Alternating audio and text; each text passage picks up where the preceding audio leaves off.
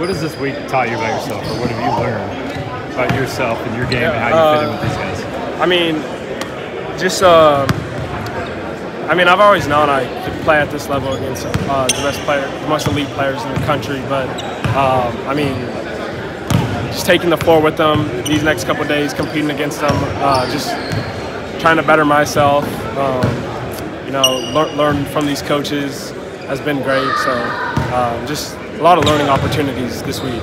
You say you you've already known that you can play at this level, but when you when you're running through scrimmage and stuff like this, does it really affirm your belief in yourself and, and, the level that you can play at? Yeah, I mean, I always just try to play with confidence, and uh, I mean, I think I can uh, play with anybody in my head. So just try to go out there and play my game, work hard. When you walk in here and there's you know, scouts from every single team, and there's Nike execs and all these guys here. What, what's it like? Is there, is there any jitters, or is it you put that all aside and you're just playing it? Um, I mean, there's some jitters at first, but really, just once you start playing and the adrenaline kicks in, just kind of you don't really think about it. You just I get into zone, just play my game.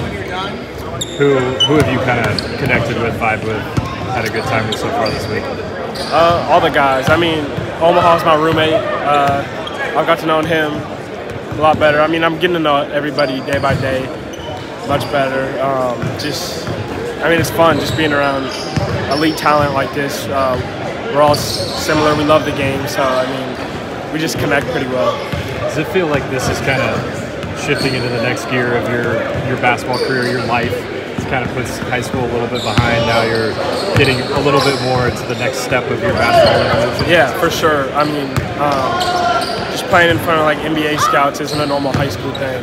So I mean, uh, a little bit just feeling like. Uh, get into that college level and then also playing with uh, these guys too who are going to be uh, NBA players. I mean, it's just get, getting ready for the next level. What are you looking forward to most on Saturday?